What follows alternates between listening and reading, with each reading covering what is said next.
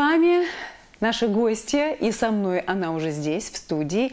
И сегодня мы предложим очень интересный вариант э, самореализации для тех, кто любит заниматься творчеством. Каким?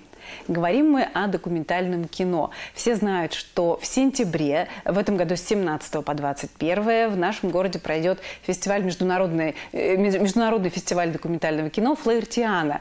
И в рамках этого фестиваля пройдет лаборатория документального кино. Она называется «Let's Doc». Так вот, до 28 июля принимаются заявки на эту лабораторию. И подробнее о ней нам расскажет Ольга Авергиева, программный директор Let's Doc. Ольга, приветствую вас. Здравствуйте. Итак, а, впервые прошла такая лаборатория в 2022 году. Скажите, пожалуйста, почему вы ее придумали, для кого?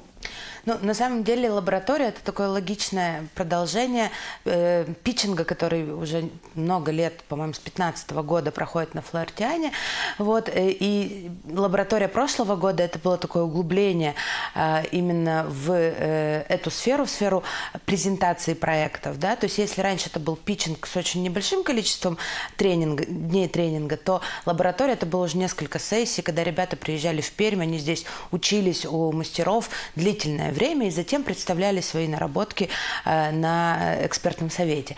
Вот. В этом году э, кинолаборатория немножко поменяла свой формат в силу там, обстоятельств, связанных с бюджетом в первую очередь. Мы, mm-hmm. к сожалению, не получили гранты на эту историю, но нас по-прежнему поддерживает Министерство культуры Пермского края, и поэтому мы пр- проводим лабораторию в формате интенсивов. Вот. То есть э, это будет несколько, около четырех интенсивов, тоже деятелей раз, разных деятелей документального кино и российских, и зарубежных. И мы в этом году делаем акцент на монтаже, потому что э, кажется мне, и я думаю, что это не беспричинно, что монтаж в документальном кино – это вообще э, средство драматургическое. Безусловно, безусловно. Вот. Э, Ольга, так все-таки вы сказали, ребята угу. заниматься будут. Кто ребята? Кого вы ждете на э, Мы ждем молодых документалистов. У нас до 35 лет есть возрастной ценз. Вот.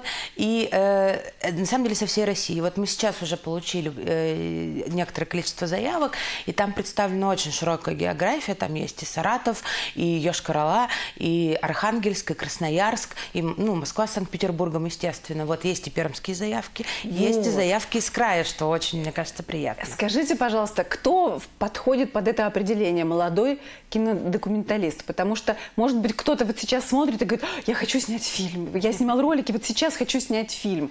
Вот он нам подходит. Без очень. опыта как человек, раз, да? да, не обязательно да, да, опыт э, абсолютно. съемок фильма. Э, мы тоже, э, это отдельная как бы, категория да, для нас, молодой кинематографист. Это человек, который либо не снимал вообще документальное кино, но хочет, да, вот, но был в какой-то сфере около киношной, например, вот. Либо это человек, который снял один или два уже фильма короткометражных, либо один полнометражный. То есть это дебютанты все равно. Даже если они уже что-то сняли, то это небольшое количество фильмов. Угу. А фамилии мастеров уже известно, а, кто будет их обучать? У нас есть предварительные договоренности, но мы пока официально Хорошо. это не объявили.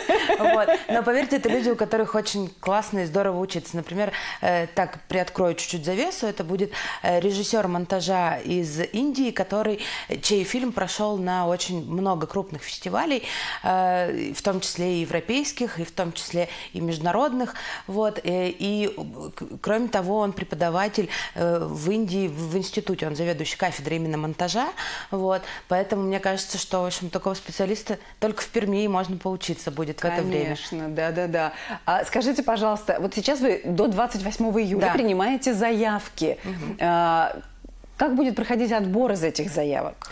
Ну, э, отбор у нас всегда осуществляет отборочная комиссия. Комиссия есть там критерии. 3-4 человека. Самый важный критерий – это мотивационное письмо. Поскольку мы в этом году не работаем над конкретными проектами, а даем, наоборот, какие-то основы, вот, то э, мы не принимаем там фильмы, их оцениваем, да, хотя можно прислать свою фильм, фильмографию, но в первую очередь мы оцениваем то, есть ли реальная причина у человека, почему он хочет попасть на нашу лабораторию.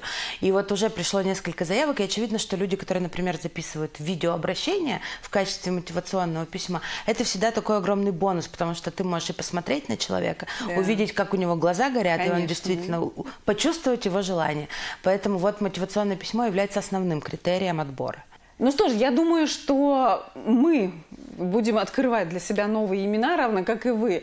А вы, конечно же, таким образом воспитываете себе плеяду новых участников Флоритианы. Ольга, спасибо, что вы нам об этом рассказали. Надеюсь, что наши зрители услышали. И теперь забросают вас заявками. Хорошего дня. Напомню, что сегодня у нас в гостях была Ольга Аверкиева с предложением. Если вы уже пробовали себя в роли документалиста, либо вы работаете где-то в этой сфере и хотите снимать документальное кино и научиться, самое главное, монтажу этого кино, отправляйте заявку на лабораторию документального кино Let's Doc. Успевайте сделать это до 28 июля. Ну и вся информация, как водится, в интернете на э, площадках э, лабораторий документального кино.